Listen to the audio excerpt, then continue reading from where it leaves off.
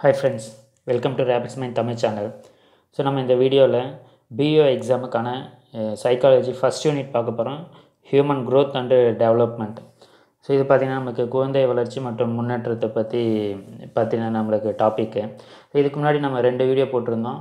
So அதில் பேசிக் concepts சைக்காலஜியில் என்ன கான்செப்ட்ஸ்லாம் இருக்கோ அது எல்லாமே சேர்த்து ஓவராலாக இருக்கிற மாதிரி எல்லா செவன் டைப்ஸ் ஆஃப் அந்த சைக்கலாஜிக்கல் கான்செப்ட்ஸும் பார்த்தோம். அது ரிலேட்டடான கொஷின்ஸ் நம்ம மாடல் கொஷின்ஸ் பார்த்தோம்.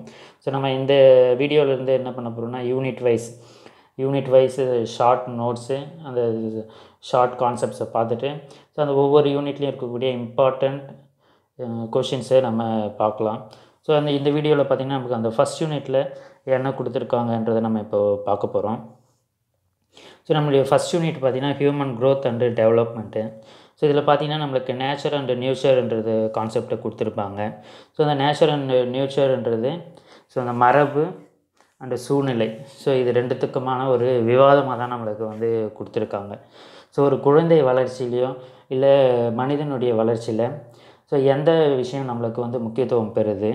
மரபா இல்லை நம்மளுடைய என்விரான்மெண்ட்டாக ஸோ இதுதான் நம்மளுக்கு அந்த ஃபஸ்ட் யூனிட்டில் மெயினாக சொல்லக்கூடிய concept interaction of nature and nurture concept distinction among growth and development and maturisation so அந்த மெச்சூரிட்டிக்கும் க்ரோத்துக்கும் டெவலப்மெண்ட்டுக்கும் என்ன டிஃப்ரெண்ட்லாம் இருக்குன்றதை நம்ம வந்து பார்க்க போகிறோம் ஸோ இந்த வீடியோவில் பார்த்தீங்கன்னா இந்த ரெண்டு கான்செப்ட்ஸை தான் நம்ம வந்து பார்க்க போகிறோம் ஸோ டெய்லியுமே நம்ம ஒவ்வொரு டாப்பிக்காக நம்ம வந்து டிஸ்கஸ் பண்ணுவோம். ஸோ இப்போ இதில் பார்த்தீங்கன்னா நேச்சர் அண்ட் நியூச்சருடைய கான்செப்ட்டு என்னன்றது அடுத்த ஸ்லைடில் பார்ப்போம். ஸோ அப்போ ம மரபுக்கும் சூழ்நிலைக்கும் என்ன வித்தியாசன்றது தான் நம்மளுக்கு இந்த ஸ்லைடில் கொடுத்துருக்கு. ஸோ இப்போ நம்மளுக்கு வந்து ம ஒரு குழந்தையினுடைய வளர்ச்சியில் வந்து மரபு முக்கியத்துவம் பெறுதா? இல்லை அந்த சூழ்நிலை முக்கியத்துவம் பெறுதா? ஸோ இது ரெண்டுத்துக்குமே பார்த்திங்கன்னா பேசிக்ன்றது மரபு தான் ஹெரிடிட்டி ஸோ ஒருத்தனுடைய நடத்தைன்றது எங்கேருந்து கடத்தப்படுதுன்னு பார்த்தீங்கன்னா அவங்கவுங்களுடைய பெற்றோர்கிட்ட இருந்து நம்ம வருதுன்னு சொல்லலாம் நம்மளுடைய ஃபேமிலியிலேருந்து வருதுன்னு சொல்லலாம். ஸோ நம்ம ஃபேமிலி ஜீன் ஹெரிடிட்டி ஜீன் நம்ம வந்து சொல்லுவோம். ஸோ இதில் மெயினான ஒரு விஷயம் நம்ம பார்த்தா நம்ம அந்த நேச்சர் மரபு சொல்லலாம் நம்ம. ஸோ அப்போ மரபுன்றது தான் நமக்கு அந்த வழி வழியாக வருது. ஸோ நம்மளுடைய இப்போ முன்னோர்கிட்ட இருந்து நம்மளுடைய பிஹேவியர்ன்றது மாறி வர்றது நம்மளுடைய அறிவு நுண்ணறிவு பர்சனாலிட்டி இது எல்லாமே நம்மளுடைய ஃபேமிலியிலேருந்து வரலாம் பேரண்ட்ஸ் கிட்டேருந்து வரலாம் ஜீன்ஸ் வழியாக வர்றது. அதே மாதிரி நமக்கு அந்த சூழ்நிலையை எடுத்துக்கிட்டாங்களோ ஸோ ஒரு ஒரு- ஒருவனுடைய நடத்தை மாற்றன்றது அவன் எதிர்கொள்கிற அந்த சூழ்நிலையை பொறுத்தும் கூட இருக்கலாம். ஸோ அப்போ தனிமனை விவாதத்தில் இது முக்கியத்துவம் பெறுதான் மரபு முக்கியத்துவம் பெறுதான் இல்லை சூழ்நிலை முக்கியத்துவம் பெறுதான்றதை விவாதிக்கிறது தான் நம்மளுக்கு இந்த ஃபஸ்ட் யூனிட் அதுதான் நமக்கு கான்செப்டாக கொடுத்துருக்காங்க. ஸோ இது பார்த்தீங்கன்னா ரெண்டுமே நம்ம ரெண்டு ரெண்டுமே நம்மளுக்கு சை சைக்காலஜிக்கல் விஷயம்தான். உளவியல் சார்ந்த விஷயமாக தான் நம்ம இந்த சைக்காலஜின்றது சொல்கிறாங்க நேச்சர் அண்ட் நியூச்சர் மரபும் சூழ்நிலையும் இது ரெண்டுமே பின்னி பிணைஞ்ச ஒரு விஷயமாக தான் நம்ம வந்து கருதுகிறோம் இதில் ரெண்டுத்துலேயுமே நம்ம எது முக்கியன்றதை நம்ம தனித்தனியாக நம்ம வந்து சொல்லிட முடியாது. ரெண்டுத்தினுடைய தாக்கமும் நம்மளுக்கு வந்து இருக்கும். ஃபஸ்ட்டு வந்து ப்ரைமரியாக முதன்மையான காரணன்றது நம்மளுடைய மரபு நம்ம வந்து சொல்லலாம். அதை சார்ந்து நம்ம சூழ்நிலையை நம்ம எப்படிலாம் நம்ம பயன்படுத்திக்கிறோம் அந்த சூழ்நிலையை நம்ம எப்படி நம்மளுடைய பிஹேவியர்ஸ் இருக்குது நம்ம நடத்தை மாற்றங்கள் இருக்குன்றது ரெண்டுத்தையும் சேர்ந்து தான் ஒரு தனிமனிதனுடைய அந்த நடத்தைன்றது தீர்மானிக்கப்படுது. ஸோ அதுக்கான இது ரெண்டுத்துக்குமான டிஃப்ரென்சியேஷன் தான் நம்மளுக்கு வந்து இந்த பகுதியில் கொடுத்துருப்பாங்க. இப்போ அந்த டிஸ்ட்ரிக்ஷன்ஸை பார்ப்போம். ஸோ அப்போ அந்த மரபு மரபுக்கு வந்து ஒரு எடுத்துக்காட்டு வந்து நம்மளுக்கு வந்து கொடுத்துருக்காங்க. ஒரு கரு இரட்டையர்கள் மற்றும் மாறுபட்ட இரட்டையர்கள். ஸோ இவங்க ரெண்டு பேர்லேயும் நம்மளுக்கு வந்து பார்க்கும்போது ஒரு கரு இரட்டையர்களுடைய நடத்தைகள் பார்த்திங்கன்னா சேமாக இருக்குன்றது சொல்கிறாங்க யாருக்குன்னு பார்த்தீங்கன்னா மாறுபட்ட இரட்டையர்களை விட பெரும்பாலான உளவியல் சோதனைகளில் ஒருமித்தவர்களாக காணப்படுகிறார்கள்.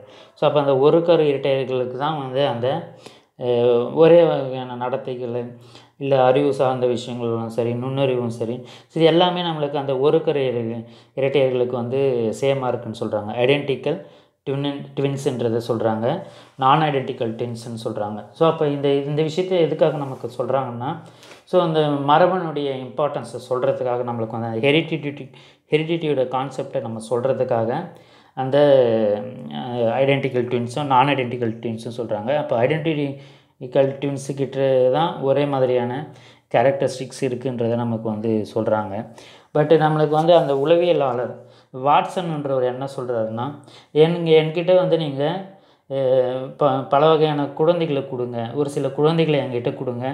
அவங்க எப்படி என்னவா வர வேணும்னு நீங்கள் நினைக்கிறீங்களோ அதே மாதிரி நான் அவங்கள கொண்டு வந்து காமிக்கிறேன்னு சொல்கிறாரு ஸோ அப்போ அவர் என்ன சொல்ல வர்றாருன்னு பார்த்தீங்கன்னா வாட்சன்ன்றவர் சூழ்நிலையை முக்கியத்துவம் தரத்துக்கு அவர் சொல்கிறார் ஸோ அப்போது ஒரு சூழ்நிலை அவர் சு- ஒருவருடைய சூழ்நிலையை பொறுத்து தான் அவங்களுடைய மற்ற விஷயங்கள் வந்து தீர்மானிக்கப்படுகிறதுன்றது தான் வந்து வாட்ஸன் சொல்கிறது so give me a dozens of childrens I will make a what you டிசைட்ன்றதை வந்து அவர் நம்மளுக்கு வந்து கான்செப்டாக சொல்லியிருப்பார். ஸோ இது எதுக்காகனா அவர் வந்து இந்த சூழ்நிலையை வந்து முக்கியத்துவம் தரத்துக்காக அது மாதிரி சொல்கிறாரு ஸோ அப்போ ஒரு குழந்தையினுடைய வளர்ச்சின்றது எதை தீர்மானிக்குதுன்னு பார்த்தீங்கன்னா இந்த இரண்டு கூற்றுகளிலும் தான் இந்த ஒரு கரு identical twins and non identical twins so இவங்க ரெண்டு பேருடைய இந்த கான்செப்டையும் இந்த வாட்சன் ஜேபி வாட்சன் சொன்ன கூற்றையும் இது ரெண்டுத்தையும் நம்ம இணைந்து பார்க்கும்போது இந்த மரபு சூழ்நிலை இது ரெண்டுத்தையும் நம்மளால் தனியாக பிரித்து பார்க்க முடியாது. இது ரெண்டுத்துக்குமே அதிக அளவு பங்கு இருக்குன்றதான் நம்மளுக்கு இந்த ஃபஸ்ட் யூனிட்டுடைய கான்செப்ட் ஸோ அதுக்கு அடுத்ததாக வந்து த அந்த வளர்ச்சியில் மனித குழந்தைகளுடைய வளர்ச்சி வளர்ச்சின்றது எதை குறிக்குது? முன்னேற்றம்ன்றது எதை குறிக்குதுன்றது தான் நம்மளுக்கு வந்து அடுத்த கான்செப்ட் கொடுத்துருப்பாங்க. So difference between the growth and டெவலப்மெண்ட்ன்றது so அப்போ வளர்ச்சின்றது நம்மளுக்கு வந்து தெரியும். ஸோ ஒரு செடி வளருது இல்லை ஒரு பழம் ப சின்ன சின்ன காயிலிருந்து பழுத்து அது ம செடியிலேருந்து உதிருது. ஸோ நம்ம இது எல்லாத்தையுமே நம்ம வந்து வளர்ச்சி சொல்லலாம் ஸோ அப்போ வளர்ச்சின்றது பார்த்திங்கன்னா நம்மளுக்கு இந்த இடத்துல நம்மளுக்கு வளருதல் வளர்ச்சின்னு கொடுத்துருப்பாங்க.